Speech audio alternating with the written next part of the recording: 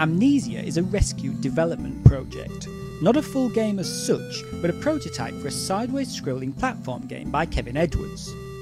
Not a lot of information exists about it, other than it was abandoned in 1987, with only a small part of the first level completed.